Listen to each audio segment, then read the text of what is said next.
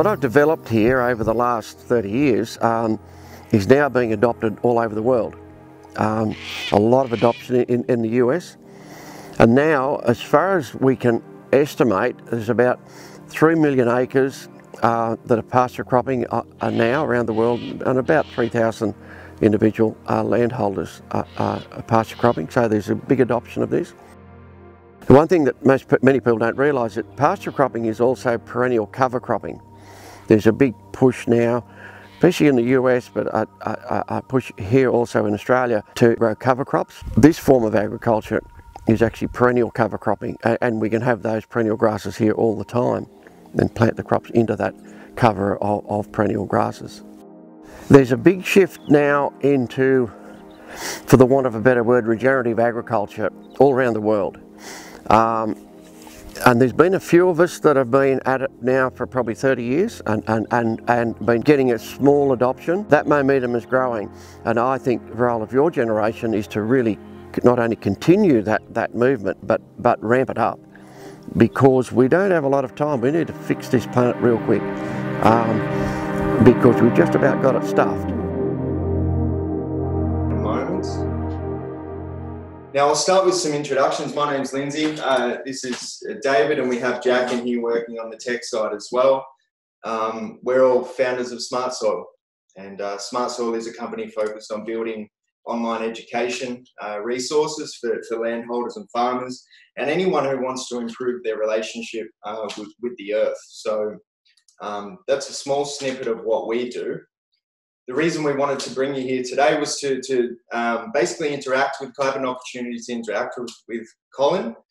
And um, we have a, an online course uh, coming out, which a lot of you would be aware of, um, focusing on the, the technique designed by Colin, which is pasture cropping. Um, here he is here. Hello, mates. Hi. Beautiful. Uh, so Cole's with us now. I'll just give you a little rundown of of how this conversation is, is going to take place. Uh, first of all, we'll, we'll introduce Colin. Colin's got a, a little presentation which we've just brought up, and he, uh, he'll take us through that. That may take around 15 to, to 20 minutes. Uh, following that, we're going to go through what's involved in the course. So, what does the course uh, include? And also, what do you as a, as a consumer get out of the course? So, uh, you know, um, practical takeaways and, and, what you're going to be then uh, able to apply on, on farm. Uh, and then we're going to do a Q&A. So you're able to, to ask Colin any questions related to your enterprise or, or your own personal experience. Um, we'll try and get through as many questions as we possibly can. Uh, as I said, we have uh, Jack here who's, who uh, passing the questions on to us. What I suggest is that if you have any questions pop into your mind, just write them in there because we'll be logging them and um, we'll be able to circle back uh, and, and, get to them uh, as soon as we can. Good morning, Cole. Good morning. Or afternoon. I hope this, I hope this presentation is working. as, as I said earlier, guys, we've, we've had a, a, few tech issues and, and we're currently learning to, to utilize the system. So um, please be patient with us. Uh, but we, we do have it working now, which is good. So, Cole, what, what I might do, mate, is, is bring it over to you. You can introduce yourself. A lot of people would already know um, who, who you are and what you do, but if you just want to introduce yourself and then you can go ahead, mate, straight into your, your presentation as as many of you probably know, I I farmer it. I'm fourth generation farmer on, on this farm here, uh, southeastern Australia. Um, I'm not sure where many of the the um, listeners are, are, from, but I, I, assume around the world. So I'll have to talk about this uh, internationally, I guess. Um, just to, to uh, like I said, we've been farming here on fourth generation my great grandparents settled here on, on this farm in 1868. Um, and I'll, in this presentation, I've got a little bit of information on that as well. And also um, how pasture cropping and the way that I farm actually happened uh, and the, the, reasons why and, and what got, had gone wrong previously. Um, so without uh, without saying too much more, I probably should start on the presentation and, and go from there. So there's 2,000 acres here on, on, on this property and we're, we're uh, 300 kilometres uh, northwest of Sydney. There's granite soil, so it's not, not heavy, fertile soil. 600 mil, millimetre annual rainfall um, and central tablelands, New South Wales. And that map of Australia there uh, on, and that red dot on it is actually roughly where, where we are. So it gives a bit of an idea. It's a reasonably, a reasonable rainfall area of Australia. Just to give a, a, a bit of a, a, quick rundown on the enterprises that we run here, which will make sense when we start uh, into the course generally, but even this, this little talk I'm doing now. We run 4,000 merino sheep here uh, for wool and meat production. About 500 acres of that 2,000 is, is cropped, all, all pasture cropped. Um, and uh, generally to um, uh, either either wheat, oats, cereal, rye, barley, those types of crops. Some cattle cattle um, as well. A big enterprise we have is native grass seed and harvesting harvesting seed from our native grasslands here. Uh, and, and also we run a, a Kelpie star days and a working Kelpie dog stud as well. Right, we need to really ask what's gone wrong with the way crops are, are, are growing. And this, I'm talking about conventional cropping, ploughing, uh, uh, uh, herbicides. And it's actually been a disaster for a long, long time. And around the world, the way we crop with either, either ploughing soil or excessive use of pesticides certainly has reduced soil carbon levels, uh, and that, that influences effective rainfall. So Reduced soil, soil fertility means we need to put more fertiliser on. Increasing insect attack is, uh, uh, means we, need, we are putting on more insecticide and increasing crop disease, more fungicide. And that method of agriculture really isn't working. And also, around the world, there, there's 10 tonne of soil lost to erosion for every tonne of grain produced. We can't continue to do that that, that type of farming. It just simply isn't working. We need to change. Now, if we look at this, uh, just information for 10,000 years, agriculture started about 10,000 years ago in Mesopotamia. Um, but for 10,000 years, we've killed grasslands and destroyed soil to grow crops and graze animals. So just to sum that up, the way we graze animals isn't working. It kills grasslands or the, the the, the, grazing methods kills grasslands, destroys soils, soil ecosystem, and destroys the farm ecosystem. The way crops are growing, grown using ploughs and excessive pesticides, also kills grasslands, destroys the soil ecosystem, and, and also destroys the farm ecosystem.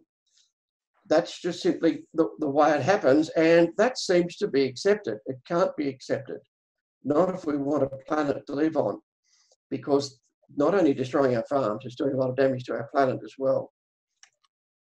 So increasing fertiliser and pesticides, which is what's usually recommended uh, in, in, in industrial agriculture, won't fix the problems. The problem is the farm and soil ecosystems are broken. Um, it's, it's an ecological problem that we're dealing with. Uh, so how can we fix them? to answer those questions, um, I, I, had to address these questions quite a long time ago, quite a few years ago. So to answer those questions, I'll go through a little bit about why I changed. Um, as I said earlier, my great grandparents settled here in the 18, uh, uh, sorry, in the 18, 1860s. Um, and they started growing wheat in the 1860s and also uh, running, running merino sheep as well. And then in, in the 1930s, industrial agriculture was adopted by my father. He was very innovative. He, he adopted industrial agriculture, in other words, tractors and machinery. Before that, he was, he was uh, using horse teams here, as his, as his father was. So growing wheat was very profitable, but the, the way that he was farming, which was the best practice at that time and recommended, destroyed the farm. Um, and um, uh, and, and, mostly with erosion and, and degraded soils, and, and, now we know degraded soil carbon levels as well.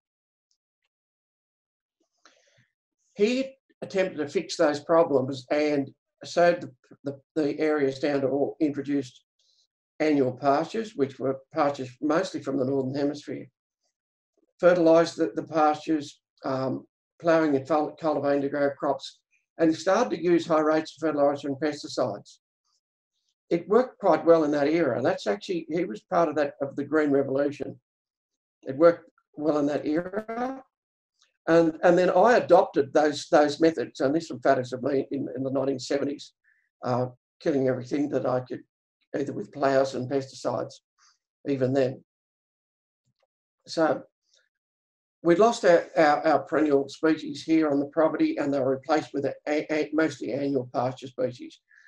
That method of agriculture was costing us $80,000 annually. Um, and then things started to go wrong in the 1970s and fertiliser became too high. I won't go through all of that on there, but we were going broke. Even in the 1970s, I was in, that was still in my father's era, we couldn't afford all of those inputs, all of that, that fertiliser and pesticides we were putting on was actually sending us broke. So how did I fix those problems? Had a major bushfire, or uh, in, around the world it's often called a wildfire, in 1979, and uh, most of our sheep were killed. 3,000 sheep died in that fire. All the buildings were destroyed, and we were uh, we we went we were broke because of that fire. We had no money at all. So because of having no money and few livestock, I decided, to grow wheat. Um, and that was done by ploughing, scarifying, cultivating, as my father did and really did a lot of damage to the soil on, on the farm here. Um, and like my father's era, it eventually failed. Crop disease, declining carbon levels, all of that. So I started to look at, at zero tilling, or in, in, in the 1980s. Those days it was actually called direct drilling. But and there was a lot, lot of uh, herbicides used, three, four applications of Roundup, for example, fertilizer uh, used as well. All that I'd really done was replace the plough with a boom spray. I hadn't, I hadn't changed the basic philosophy of farming. So, uh, but things started to go wrong with declining yields, crop disease, and insect attack. So, how did I fix those problems? The, I got good agronomic advice at the time, and the advice was to double the fertilizer, um, add urea in crop, uh, use fungicides, insecticides, and, and, and more, more herbicides. And that same advice has been given today. The advice hasn't changed much, and, and, and that is um, 30 was 30 years ago. So I didn't accept that advice. It didn't add up financially, and the amount of nitrogen fertilizer that was recommended was toxic to wheat plants. I didn't accept that advice. How did I solve those problems? Well, I changed uh, uh, to look uh, at, look at low input agriculture and stop using uh, fertilizer and pesticides and I focused on 100% ground cover. I, I looked at and adopted Allan Savory's holistic plan grazing in 1993. Around the same time, developed pasture cropping. Pasture cropping, what, what is it? pasture cropping was developed by myself and Darryl Cluff one, one evening, and I won't go into too much detail here, but we, we developed pasture cropping over about 10 or 12 of these Australian bottles of beer. And, um, so, and, and, there was no great philosophy in it to start with, but uh, uh, I guess the beer uh, in, inspired us to think outside the square. So um, pasture cropping is actually perennial cover cropping. And it is the first time, first change in agriculture really for 10,000 years in that uh, everyone had tried to kill it, it, even now. We, are killing everything to plant a crop. What we're doing in pasture cropping is keeping perennial grasses in, in perennial plants in there while we're growing the crop. Just focusing on looking at cover cropping, this cover cropping is, is, a, is a good method. Cover cropping uses annual plants to create mulch, control weeds, and improve soil health. Pasture cropping uses perennial plants to create uh, to create mulch, control weeds, and, and, and improve soil health. So it's perennial, perennial cover cropping. So why would we use these techniques to, uh, uh, to, to grow crops? And why would we change? Well, we do know now there's been lots, a lot of data collected on pasture cropping um, by research organisations in Australia, and we know there's certainly more profit in it. We can restore our grasslands and improve pastures. Conventional agriculture cannot and does not do that. We can grow stock feed, we can grow good grain crops, and we can improve the soil, in other words, restore the soil ecosystem, um, and less costs over time. Less fertilizer, less herbicides, less insecticide, less fungicide. And a lot of what I'll be doing in this course is, is, is teaching people how to transition from what they're doing in, in uh, high input industrial agriculture, how to transition to a, to a better way of farming. So if we look at this here, uh, traditional cropping methods, using either ploughing or, or herbicides, um, how, if we ask the questions, how much stock feed is produced in that method and how, how much pasture is destroyed, so how much soil structure is destroyed, soil carbon and soil erosion. And the lot of it, the result is a crop grown in this method, method with this method, we've got destroyed soil, destroyed pasture, and then the need, the, the need to resow pasture. It just simply doesn't work. That method of, of growing crops does not work. So by using these methods, we can produce good grain crops for grain or forage. We can get grazing right up to the point of sowing, sowing the crop or planting the crop. And we can restore our perennial pastures or, our grasslands while we're growing crops. We can improve soil structure, in, uh, soil carbon, improve nutrient cycling, um, and it restore the farm and soil ecosystems. So it's more than just sowing crop into grass. There's a bit more to it than that.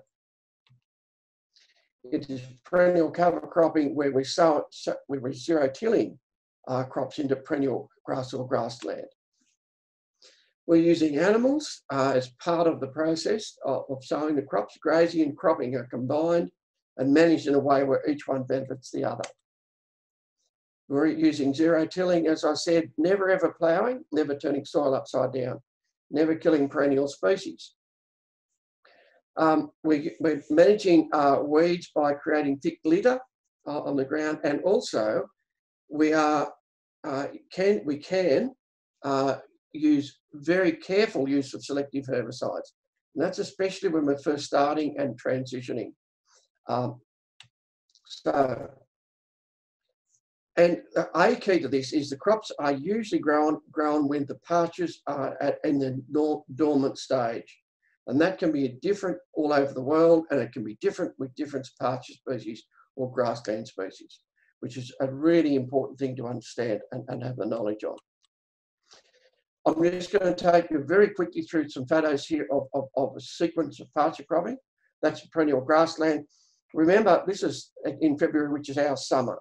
Um, so then we're harvesting seed off these grasslands, which is a great, uh, great source of income. Sowing, the, uh, grazing those that area and planting a crop into it, zero tilling it, as, as that slide shows. The emerging crop, um, around uh, just before this photo was taken, that, that crop was grazed, um, leading up to harvest and then harvesting harvesting the crop. And then you can see the emerging uh, summer grass, warm season grasses emerging from underneath that, that crop. Then we're grazing that, that, uh, uh, that grassland again. Also then we're harvesting native grass seed uh, from these paddocks as, as well. And just the last week we've been harvesting a lot of native grass seed. We've probably harvested two tonne of native grass seed this season. Um, not possible with, with uh, uh, conventional industrial agriculture. Just a tiny bit on multi-species crop, uh, crops. I looked at, I was looking at multi-species crops. I am rushing through this to try and make sure I haven't got, I don't take too much time up. Um, and I was looking at adding more species to the crop um, to, to, to improve our soils even further. Um, Here we're growing some of these multi-species crop oats, forage brassica, vetch, tillage radish, clover, fields, peas, turnips. That mix is varied depending on what you're trying to achieve.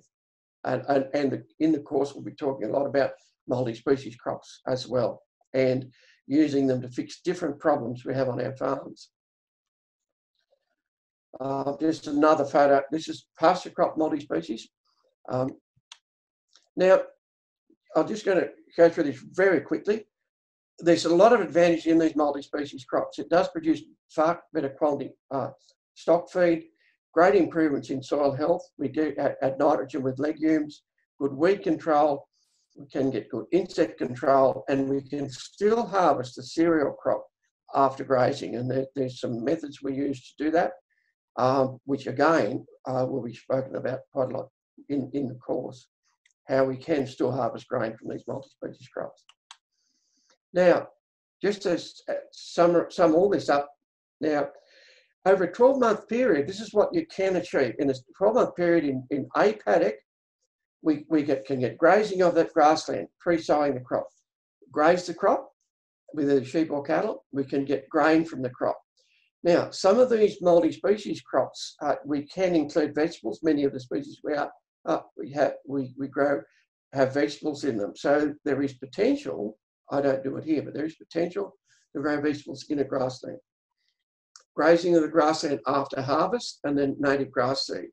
So we can do all that. We've got all that those enterprises stacked on, on a grassland while we're improving soil structure, soil health, and nutrient cycling. Insect control, uh, reduced or no fertilizer, no insecticide, no fungicide, and no ploughing.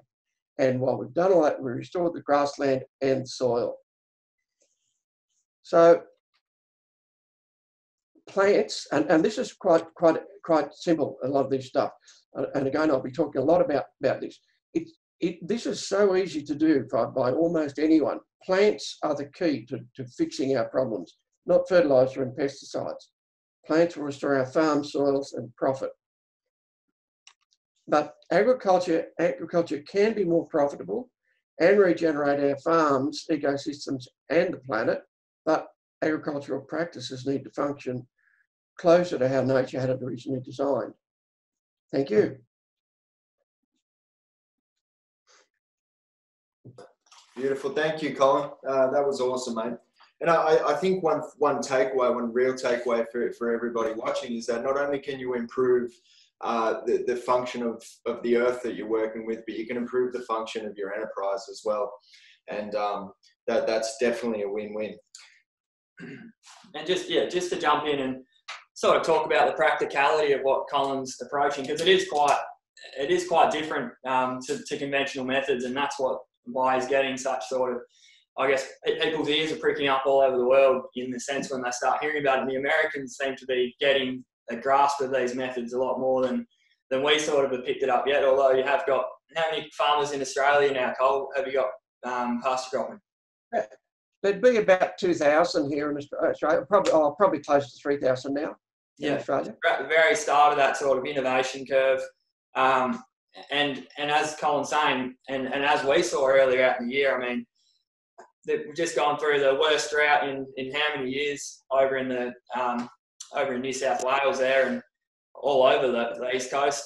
Um, and what we saw on Colin's property was he, he hadn't had to bring in any dry feed to feed his animals. Um, it was just at the end of that end of that drought, he may have bought like a couple of, um, I think he only got a bale or two in to, to, but he had all that dry feed buffer on on his um, pasture already, and and that allowed him, and it, and it, builds in this resilience into the system. So that's what's really exciting um, for us, being you know looking at agriculture in a new sort of light. Uh, doesn't have to be depreciating the ecosystem. It can regenerate the ecosystem while we're maintaining a good bottom line and, and building a healthier uh, enterprise. Um, but now we're just going to jump in and, and, sort of talk a little bit more about what's in, uh, involved in the course, a little bit about the, the course index. Um, uh, we're going to get take uh, we're going to get Colin to take you through the index.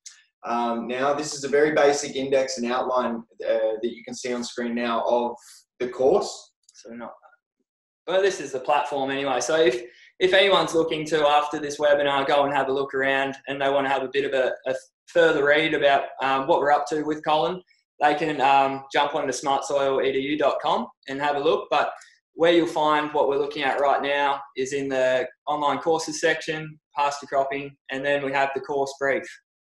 Um, so these are the eight chapters that are penciled in at the moment. We've added a ninth chapter also on enterprise profitability. So as Colin was talking about with these these stacking functions that we can start to integrate into our farm with new yields. I mean, we're able to graze animals more. Obviously, that's going to lead to um, better better animal nutrition. Um, and also, we're able to start creating more enterprises with the native grass seed um, out the back of that. But uh, I don't know if you want to talk a little bit on the on the uh, chapters there, Cole, and sort of what we cover. Because and, and, to give some uh, to give everyone a little bit of context, um, we were lucky enough to actually get over to the east coast. We're based uh, over in WA, um, and at the very start of the year, we've been we did that ground cover you watched at the very beginning of the of the webinar with Colin in May last year. Um, and then from that, it built a working relationship. Lindsay's actually from Gulgong uh, on the on the east coast, so we had that um, and knew Colin as a as a child. So um, we're very lucky in that sense. The stars aligned, um, and we flew over early. Just very lucky we got over there early because we, we, were there for ten days or up, up to a week, so um, seven ten days doing filming with Cole, and it was we covered a lot of ground. I mean, we, we got hours and hours of footage, and um, and just went really deep into into a lot of these subjects. So the mission now in this post section has been making all of that really digestible, easy to follow, um, breaking it all down into method methodology based sort of practices that people can take and implement on their farm. Um, but yeah, Cole, if you wanted to just talk a little bit on on the um, on the chapters we went into, and then it would be a really good time now if anyone has questions, just to start jotting them in, um, either in the chat room there, and we can start sorting through. Um, and if you have any questions about the course specifically as well, that'd be great. It's uh, there's it's obviously been widely adopted now. This online learning, it's a big transition, and I think agriculture could really benefit from this being a, it's so remote and everyone's sort of doing their own thing. But if we can start coming together on these online platforms and, and sharing information and, and techniques, and it'll be a great thing. Absolutely. I, I'm having trouble reading that, reading that, but I'll work through it. I, I can see it now. If you can make it bigger, it'd be better for everyone. Roger that. Uh, I don't know if I can. I could probably screen snap it and zoom in on it, but I don't think we can do that at the moment. Sorry, Cole. That's okay. That's okay. No, I'll, I'll work through that we'll just go through what uh, uh, uh, what the course is about in each section. But there's nine nine chapters in there. The introduction is why. What really, and I touched a little bit on on that small talk I did just just a while ago about uh, what's gone wrong in agriculture and, and what's gone wrong uh, around the planet. And, and uh, yeah, agriculture started in Mesopotamia in, in, in um, well, 10,000 years ago and and that form of agriculture was then adopted by the Romans and then and then and, and in Europe. And, and that West, Western agriculture it comes from originally from Mesopotamia and it failed in Mesopotamia 10, well not 10,000 years ago yeah five or 6,000 years ago.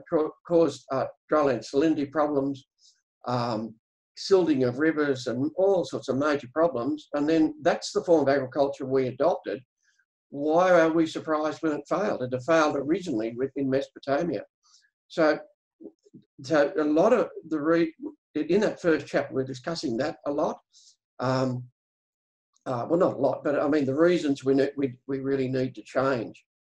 Um, and I won't dwell on it too much uh, that on too much, but then we talk about plants, and plants are important and, and understand like pasture cropping is about growing growing uh, crops into living perennial plants. So we need to have an understanding of how plants function, and in particular of, of when the majority of plants you have in a particular paddock or on your property go into dormancy. And, and often, uh, certainly here in Australia, a lot of them go, go into dormancy in the winter. Our native grasses do. And that creates a, uh, a, a, a time to be able to plant crops into that, into those perennial grasses when they're in a natural dormancy. Um, but we need to understand about grasslands and how they function and how and how plants grow, like um, warm season and cool season grasses, and, and, and why they're different. Um, so we'll talk about that as well. Um, also, what else have we got here? Um, livestock. livestock. We took, and there's also going to grazing management quite a lot. Uh, not in as much as as a lot of the grazing management courses uh, do, but we certainly give you an introduction into grazing management and certainly how to graze crops, um, um, the timing of that, uh, and, and and and that that side of it, um, and certainly how to manage grass grasslands um, as as well. Soils are, are just quite quite detailed on soils and the soil ecosystems. We seem to forget that that farm farms sh should function as, as ecosystems, but soils also should function as ecosystems. But as an ecosystem, the problem with industrial agriculture, and especially with a lot of pesticides and high rates of fertilizer, um, they stop functioning. They, no, they no longer function as an ecosystem. So then we, we then it's, it's, we, it's required then to put a lot of fertilizer on to even get these crops to grow. Um, it's not lack of nutrients or lack of fertilizer that's the problem. It's a decline, a, de, a, a, a declined soil ecosystem. So we can restore the soil ecosystem and the farm ecosystem, all this starts to fall into place. And that's really what this is all about. Uh, uh, pasture cropping is as much about restoring farms and, and, soils as it is about growing a crop. The cropping side of it is, is, is, part of how we fix it, but there's a lot more to it than that. Um, the people that are very successful with pasture cropping are the ones that focus on the grassland and focus on restoring the grasslands and soil. Then it really works well for them. Um, what else have we got here? Um, then obviously we go into quite detailed uh, uh, uh, stuff on pasture cropping itself. How, how, how we, we uh, uh even start, where do we start from, um, how we, we, might start with a, either a very weedy uh, paddock, um, and certainly when we first start to transition, what we're doing is often just changing the herbicide, still not, not going cold turkey uh, with organic pasture cropping, but, but then transitioning to it, changing fertilizer and using more selective, uh, sorry, herbicides, and then transitioning slowly because we don't want to go broke while, while, while we're creating the changes. Um, so learn how to do that. Then um, like on the property here, I, I sell a lot of, I'm, I'm not, not uh, certified organic, but we sow a lot of crops now without herbicide and use a lot of biological fertilizers. I, I could do it, I could be an organic producer, I guess. Uh, I still want to keep as many options uh, for me as possible, so I, I haven't worried about going organic. But there, there are a lot of people that do want, want to do that, and we'll, we'll discuss organic pasture cropping as well. Um, and also, as I mentioned before, we will also uh, uh, uh, touch on uh, multi-species crops and how we can use combinations of plants to fix particular problems, either on our properties and especially to fix soil, soil, com soil compaction issues, um, nutrient cycling, uh, building carbon, holding, improving water holding capacity, all of that stuff we can do with plants and different combinations of plants. Um, so where are we now? Um,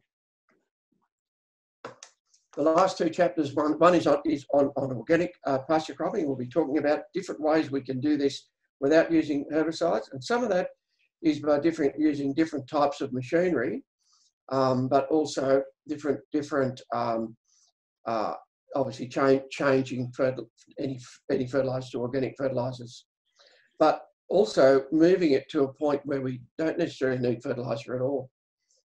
Um, and even though I've spoken about transitioning before, the, the last chapter is on transitioning and how we actually can do this. How, how do we transition from where we are now to a method of agriculture that continually regenerates our farms?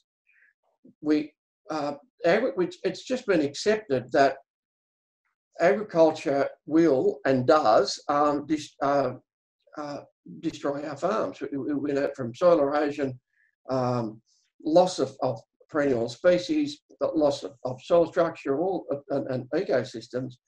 It's just been accepted, and that's not good enough. We, we certainly we need we need agriculture to regenerate our farms, and we certainly can. That that isn't a problem. We can use agriculture and use these methods to fix our farms. Colin, I just, um, have, a, I just have a point there to add, if that's okay. Um, yeah. Within the within the transitioning phase, you know, uh, we want to make you aware that uh, our goal is to offer as much support as possible, ongoing, as you're making that transition. And um, Colin and the team, uh, we've we've spoken about what's the best way that we can support these guys as they go through that transitioning phase we determined initially that uh, the best way to do that, we're going to hold four annual webinars, very similar to what we're doing now for anyone who has purchased the course. You get access to these webinars in which a similar uh, template to what we're doing now. You can ask Colin things related to your enterprise um, that are going to help you make that transition.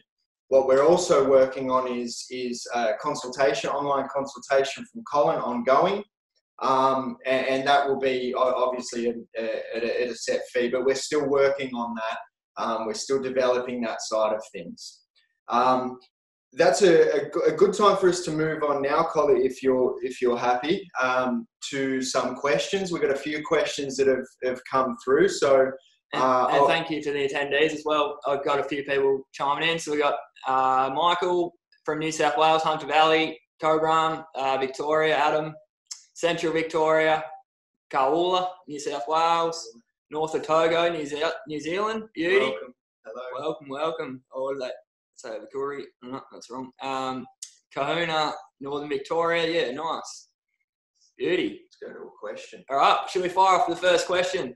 So from John um, Caruthers, how suitable do you think this course is for a small scale lifestyle type property where the landowner is at ground floor in terms of agriculture?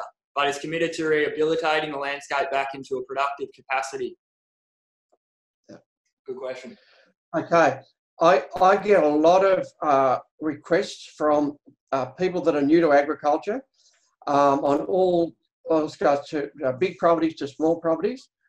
And, and almost always, like I find a lot of people that are new to agriculture actually make very good farmers because they're open-minded and they're really wanting to to do things differently.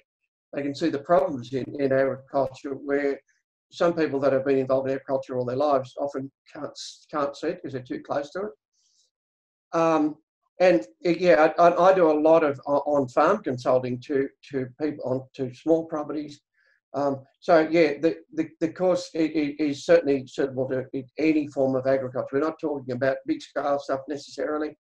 Um, and it's all about really about growing plants and, and, and plant diversity, really. Yeah. Um, and we can do that in many different ways. That's it. If you've got soil, then then this is definitely applicable. Or growing plants. Okay, next question. Um, thank you, Craig Penzini uh, from Mundaring. Yep, the love the Colin uh, presentation by Cole. We'd love to access a copy. So um, that's a good time to bring up YouTube, um, Smartsoil AU, we have a, a, YouTube channel. We've done a few ground covers and, and sort of things um, in the past on different regenerative farmers in the space. Cole, uh, Cole was one of them. We interviewed the Haggertys up in Moller and WA up there, and couple of other crew that are really pushing the boundaries in, in ag. So if you go over to YouTube, we'll have this webinar uploaded in the coming weeks. Um, so you'll be able to touch on it again and, and cover any points that we um, that you want to freshen up on. Uh, pretty much the same. Beauty. And John, again, yeah, is, is this course a one size fits all, or can it be customized depending on the participant's situation? Is there any interactive components, e.g., with a mentor or instructor? Occasional video chat. Yeah, nice. So I think Lynn sort of answered that question before. We will have built in support and depending on your requirements, we can also add in more support if, if that's if that's required. We want this is a this is the start of a journey, you know, and that's um, spoke to Dr. Mary Cole the other day, who's a um, mycologist from Melbourne, and she said that you know if, if these people are going to change and it, it really they really have to know that this is stepping onto a, into a new journey and a, um, that is is more fulfilling, I guess, because you you are regenerating the land you're on um, and leaving a legacy. Beautiful. Uh, Jamie Wright from New South Wales, watching from Northern Tablelands. Beautiful. Very keen to learn about multi species planting into existing pastures and increasing species diversity. Beautiful. Watch this space. Oh, there we go. We got Kira Lee from Gulgong, New South Wales. I have a small 250 acre cattle property. Very interested in this method, but I'm wondering what sort of equipment is needed, please. I don't even own a tractor at the moment. Good question. a few, okay, a few different ways around that, and, and you have to weigh up uh, uh, whether, whether it is uh, practical to, to own machinery on small areas. However, there's usually uh, people that, that uh, can contract uh, for you. the main thing you need to, that, that contractor needs to know is what you're trying to achieve. Um, and they'll often try to talk you into using the wrong sort of herbicide or or, or, or call you a, a, lunatic for doing strange things. Um, but there are often, often uh, I, there's often people around that, that, that do that do contract uh, sowing. Well, uh, Kira Lee is, is from Gulgong, Cole, so we'll send her around to yours to grab any machinery she needs. next, uh, next question from Bryce Gibbs. Uh, thanks, Colin and all that's from Smartsoil for arranging this webinar. Awesome presentation. Uh, thank you, Bryce. Um, very excited about upcoming course, especially with the multi-species pasture cropping, holistic management, and soil ecosystem function. Uh, very in depth and glad to see quorum sensing in there also. So, um, you know, cool, Bryce. Thank you so much. Um, these ideas, the ideas of quorum sensing, uh, you know, the ideas of looking at farming on a deeper level, it's growing, it's expanding um, the world over. So we're, we're pumped about it as well. Next question from uh, Jody. How you want to read that out, Dave? Yeah, mate. Interested in how the system works on an irrigation dairy farm. Yeah. Uh, and I don't okay. know where yeah. Jody is. Yep. Let us know, Jody. Right. Yeah. Want me to answer that one? Yeah. Uh, yeah. It'll work on. It'll work on any any farm dairy, but irrigation makes it makes it easier. Um, it, and, and dairies dairies are, are an interesting one uh, there, as, as we're aware, dairy farmers in Australia here are, are going broke left, right, and centre. Often it's related to the extremely high inputs. Um, that that um, and, and, it's almost the same type of problem as what's gone wrong with industrial agriculture, because soils get that degraded, um, and and the, the, the necessity then to put on a whole heap of fertiliser, I mean extremely high fertiliser rates and pesticide rates on dairy farms to be able to get enough production off it to justify the cost of all that fertilizer. So we need to gradually transition off a lot of those high inputs, not necessarily all of them, to then create more profit. Um, and, and we certainly can. Um, and some of it is, is about just simply often changing changing the herbicide. Um, and, and I haven't mentioned it today, but Roundup is one of our biggest problems that we've got. And okay, we, we know we've got problems from a human health point of view, but Roundup just kills everything. We don't want to kill everything. We want to keep some things alive. So Roundup is, is, is, a, is a serious problem in that sense. It, it will not never let our farms regenerate. Um, Cole, so, something to, to, to add there. Um, I mean, do you, if we're putting those inputs on a dairy farm, um, what do you think the knock-on effects are of, of animals grazing these types of things, like Roundup, of course. Yeah, I don't know whether there's any work done on Roundup, but certainly urea and high rates of, like of nitrates in milk is a is a human health problem. Mm. Um, not only that, uh, it's, it, it, it's it's a cow health problem. A lot of the problems on dairy farms are, are, are a lot of the costs are, are veterinary costs, and they're mostly metabolic diseases caused by the types of pastures okay, we, are trying to produce a, a, lot of milk off them, a, maximum production of milk, but It's a huge expense, uh, uh, a huge cost in relation to, to the health of the animals. So it's just need to we need to be well aware of that, and, and we can start to transition or, or move away. I've actually I know a fellow that is pasture cropping a dairy farm farmer in northern Victoria. Um, that's doing a wonderful job, and he gets virtually no metabolic diseases out at all. Um, and he's going to organic as well. As well, something that blew me away when, when we were out on farm with you there that you said about the quality of wool um, was better since you started pasture cropping, and also you were having to uh, what what would you call it? Um, treat your give them the drenches. You're drenching your sheep a lot well, a, a lot less Yeah. as well. So, Yeah, the animals are certainly a lot healthier. There's no doubt about that. It, it, and it's related to, well, here on this this property, we haven't used fertilizer on here for 40 years. No, no pasture, superphosphate, like phosphorus fertilizer for 40 years. But the pastures just get better and better, not get worse and worse. There's a lot of things said about the need for, for fertilizers and pesticides that just simply aren't true Yeah. uh, in, in, in a practical sense. So, but, but I got off track there a bit. Uh, but a lot of it's related to that the, the animals are healthier here because we're not using all those high inputs. It's not extremely high nitrates uh, now that they're eating. Um, yeah, everything everything can be a lot healthier and better, and then it, then it adds up to more profit. Mm. Um, like I'm far more profitable here now than, than we ever were uh, on, Uh, on property here. A lot of that's related to less costs as well. Uh, absolutely, and, I can attest to that. I grew up in uh, Gulgong, where where Colin farms. In fact, my father planted uh, many many trees on Colin's property, um, and um, growing up in that area, I always remember as a kid, it was a beautiful, a stunning place. Uh, the grasslands were healthy, but as I as I got older and as I kept returning back home, it seemed as though I was returning to Mars at times. Um, it, it was very dry and arid and desolate. Now we, we went out to, you know, that was upsetting. It's upsetting for anyone to see the, the, the earth in that state. I, I, we went out to Colin's to film this course and although amidst the drought his pastures were not booming, they were living. They were living pastures where everything else was dead. And to us that really sort of put the nail in the coffin, you know, we can we can see firsthand the effects that that these practices are, are, are having. Um, so I've got a, a, couple more questions coming through. Um, great question from John uh, Carruthers again. Thanks, Colin. Thanks, David. You're welcome, mate. Thanks for your questions. Um, over what period do you recommend undertaking the course, or is it best done self-paced? Um, that's that's great.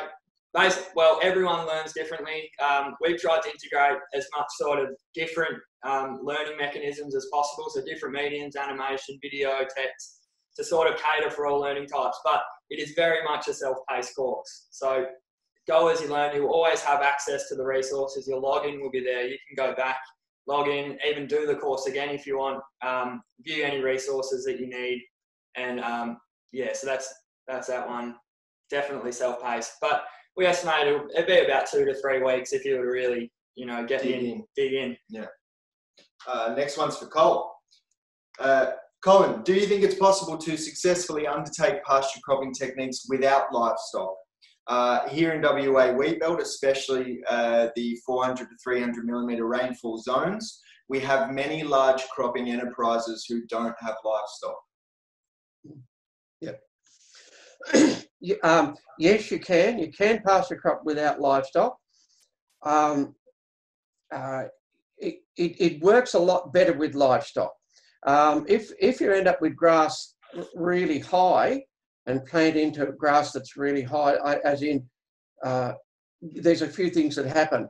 Um, the, the crop gets shaded, uh, and also there's often there sometimes can be a nitrogen drawdown problem uh, with a lot of e- excessive dry material, just like in a wheat stubble. But so, and the animals consume that and turn it into into plant available nutrients, as in manure. Um, but you can uh, still uh, slash and, and mow uh, those grasses and plant in- into them. Um, the livestock add a lot of profit to the to the enterprise as as well, but it can be done. Um, and and uh, and, and, and you can start to transition into it by, a- anyway. uh, without the animals. But I always recommend animals. Beautiful. And Craig's Craig's up in uh, Tom Price there. Oh no, that's Bryce. Um, but I believe he might have reached out on LinkedIn the other day and, and said something. Um, but Sheila Sheila Station, I think it was, is is a mob that's um, they're pasture cropping up in the Pilbara region, so could be interesting to have a look at. Yeah. Uh, all right. So Jody, the with the dairy question was in Cohuna, Northern Victoria. Thanks again. Um, great comment from Amanda. Well, if you have healthy, balanced soils, you'll have more nutrient-dense plants, which will only have beneficial outcomes for animals and humans alike. Amen, sister. Yep. Um, how do you handle seed issues in sheep, lambs with longer grass heights? Also, how to understand when you're at the point when you don't need fertilizer anymore. That was from Ra. Okay. That question. Good yep. question. I'll answer both those. Um, the um, uh, what happened here, as well, just backtrack. People assume that native grasses, native, uh, are, are just full of seeds and and awns and, and horrible things. Many of the, the, the seeds that contaminate wool and, and get into sheep are often introduced ones. They're not native. Like barley grass, for example, is, is, in, is introduced. Vulpia or silvergrass is introduced. And they're two of the main problems that, that we have, have with, with grass seed. They're, they're not native at all. Now, some of the native species are like speargrass, um, uh, three-pronged grass like Aristida, they are. But what I found here, as the grassland started to uh, uh, return, it it it, uh, um, it, it came back almost like in an order. That, that well, ecologically things happen this way. They, the colonising species come in first, which often are those awn species, um, and then it moves to, to better quality species. Now, uh, here with with uh, our wool, uh, wool is a great way to monitor um, uh, how your pastures are going because we test wool now. There's virtually no seed in. Our, our, our, vegetable matter in our wool is, is under half percent, which is extremely low. And, and our grassland here, here, well, our pastures here are 80% native grasses and 60 species of native natives in them. Virtually no wool contamination at all. Um, and also, in regard to that, the best wool in the world is grown in, uh, in the tablelands, uh, in, in, in, the high country, and it's all native. Uh, so, like the super fine wools. Uh, uh, so, we don't need to worry too much about that. But, um, and as we start to transition into it, we can manage manage that as well with our animals and how we graze it as well. What about the um? At what point do you realise you don't need fertiliser anymore? What when does that light bulb um, off? now, in regard to sowing the crops, what I did here, like, I've reduced fertiliser by 70% with the crops. And, and now, no, I don't use fertiliser on the pastures. Uh, so, but with the crops, what I did was um, uh, over time, I just gradually reduced the amount I was putting in with the crop. But I did a trial strip through the paddock and I, I reduced it and to see whether there was any difference in, in, the, in the yield or, or look of the crop. And if there wasn't, well, it just next year reduce the rate over the whole property. A couple of years later, do another trial strip, and I gradually reduced it down. That's, that's how we can transition. Uh, with the fertiliser on pastures here, it, there was no transition because, as I said very quickly in the talk there, we were burnt out in the fire. I couldn't afford the superphosphate, the phosphorus fertiliser mm. anyway, so I just went cold turkey, which is not what I would recommend now. Um, so you, again, you, you, transition out of uh, out of the the uh, uh, gradually reduce your fertilizers over time. Then soil starts cycling. Um, it's about getting nutrient, sorry, not soils, nutrients start cycling in soils and then nutrients start to become available. There's no doubt about that. We've got good data and good proof on that uh, with, uh, with, with a lot of the, the, the, the um, scientific papers that have been done here, which we could make available also in this course. I know you just thought of that. Fantastic. And we do um, have resources. Some of those scientific papers we could definitely uh, send out to people. Bloody oath. I think that's, yeah, and there is a lot of supporting evidence from all the trials. Colin's actually on one of the most researched farms in Australia um, he's had a lot of work done out there. So that's the great thing about this is that it, we do have the data there to back it up, and we'll make that available within the course. So Um, a couple of questions, uh, and then we better start wrapping things up, Cole. I know you're shearing at the moment, so you're a busy man. Um, No, Stephanie, no, finish that. are you done? Finish that for training today. Beautiful. All right, Stephanie, does this course cover types of equipment and machinery required? Uh, we sort of touched on that one before, but I don't know if you wanted to just pretty easy one. Yep, yep. What, what, what's that again? Oh, Sorry. Does this does the course cover types of equipment, machinery slash machinery required? Oh yes, yeah. We cover a lot, a lot of machine, different types of machinery, um, and and how and converting existing machinery. Like, not everyone can afford hundred thousand dollars on a machine, but I can't don't know how anyone can justify it. But so th- there's there's a lot of really good examples of, of, of what people have done in converting just old machinery that's been lying around behind sheds, like converting chisel ploughs um, at very very low cost, converting existing uh, seed drills. Um, so yeah, it's a, there's a lot of information on that, um, and, and and different types of yeah, quite a lot on machinery. That's it. And we did we did actually uh, a section on and some of the retrofits that you've um, the changes you've made, simple changes you've made to your um, seeding equipment as well, didn't Yeah. we? Uh, Yeah. Good question from Simon Inkersell.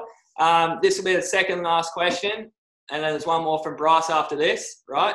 Uh, is the SoilKee system a way to start the pasture cropping system? I don't know much about the system. If you had any info on that, it would be great. Pros and cons. Yep, we the SoilKee um, is a, is a really interesting uh, uh, machine and and can be used for pasture cropping, especially especially organic pasture cropping. Um, and uh, yes, good machine. There's another way of doing that, a very similar thing, but with a lot lower cost as well. Uh, and that can be done with something like Yeoman's uh, plough with a seed drill on it. And we talk about that as well, of how, how we can do this totally organically into green, uh, into a, say, a green growing pasture, which which you normally would you certainly wouldn't wouldn't do it and do um, without a herbicide, but we can do that. So the SoilKee can be a, a very useful machine. But again, like you say, not everyone has that 100, 150k just lying around to chuck it at, um, at a SoilKee renovator. So, um, Yeah. great, great answer. All right, Bryce Gibbs, our last question. Good job, mate. Sounds like a goodie too. You ready, Cole? Colin, what kind of seeding rig do you run on your property? Do you run a disc seeder in your pasture cropping? And how do you manage trash management and hairpinning in the native tussock grasses? Do you inoculate seed with liquid vermicast, compost extract, and what else do you do? To, or what else do you add down the tube? We might be all day asked answering that question. do you want to unpack it into a couple? Or? No, no, no, no, that's fine. Um, what I use here, it's, uh, I, I just uh, didn't want to spend hundred thousand dollars on a machine. I started with an old Connor Shea, uh, and and, and uh, just and they had six inch spacings. I took half the tines off, tightened up the springs, and put knife points on it. The way I went, which can work. Uh, but what I what I uh, uh, then got into there was an old international scarifier sitting around here. Actually, used to belong to my father. So I modified that, used the existing tines on that, put knife points on them, and put an air cart behind it. Um, and, and, and then it made it wider. And it's got everything bolted on that thing. Um, I, put press wheels behind it. I put uh, uh, disc openers in front of it. Uh, and so it, it'll handle it. On, and then I put, also put a, an, extra seed box on there for, for sowing uh, small seeds in a multi-species mix. So I can do everything in one pass with that thing. Um, and it's just a, a converted uh, international scarifier. Um, and, and when, we, you were filming here, you took some, you did some filming on that machine, so it'll be it, it's a fair bit of information on that machine. Yeah, we'll be able to display that. One thing you missed there, Cole, was uh, do you inoculate seed with liquid vermicast compost extract? Yep. Okay. Uh, on that existing machine, I also put a liquid injection uh, uh, tank on it, and so I was I was actually using uh, compost teas, making compost teas, and and I have also used uh, um, uh, uh, uh, liquid like worm, worm juice, like in, was from from Nutrisoil in Victoria, very good product. Um, and um, both of those, any worm products are, are, are really good. Um, the the compost tea can be good to transition. What I actually found though was the best microbial food on the planet is uh, worm leach. Uh, oh, sorry, uh, is plant exudates, uh, plant root exudates. Uh, the sugars that get injected into the soil are Mother Nature's uh, microbial food. So what we're doing, what, what, the advantage we get by, by planting mold, multi-species uh, crops is, is feeding microbes. So I, I did the full circle in a lot of this. I tried all of those things and all those products, and there's nothing wrong, not being critical of any of those products, but went back to growing just more plants. Um, but, uh, Fantastic. That plants will save our farms and profits, aren't they, mate? All day. uh, just think one thing we didn't answer there was the uh, the disc seeder and how do we manage yep. the trash management hairpinning with the yep. Great question. Great question. Um, now I started with knife points here, um, uh, and the reason I started with knife points this this uh, the, the soil on this farm was like concrete. And I, I reasoned at the time that the disc was not going to get good result, good crop result and and uh, because I wanted some some tilth or some loose soil underneath the seed. So I went with knife points and, and on foot spacings, 30 centimetre spacings, and, and got really good results with it, and then stayed with that. On good, when our soil structure improves, we can move to discs. But if we if we have discs too early, we'll, we'll, often our crop results will be disappointing. Our soils need to be ready for discs. Um, the other advantage is is cost. Like disc planters are bloody expensive. Um, so uh, you know, and, and, but, but the tine planters can be uh, uh, are, are a lot more cost effective. Um, so I'm not being critical of discs at all, but just be a bit careful about how fast you move into them. That's all. Awesome. Fantastic. We're going to um, we're going to move to to wrap this up, guys. We've gone a little bit over time. Um, so we just wanted to give you some, some key information on the course um, and, and, what it involves. Prior to doing that, uh, we want to offer all the attendees that have come to this webinar today uh, 15% off uh, pre-sale pre for the course. Okay, so if you would like 15% off pre-sale on the course, which is released mid-June, um, what I want you to do is put your email down in the comments section and we'll get an email sent out to you with the offer code. Okay, so if you want 15% off, please just pop your email down there in the comments section uh, and we'll get a, an offer code sent out to you. You'll then be able to go onto our platform and, and pre purchase that course um, with, with, a discount applied. Uh, again, just key things to understand the course is self paced, you can take your time.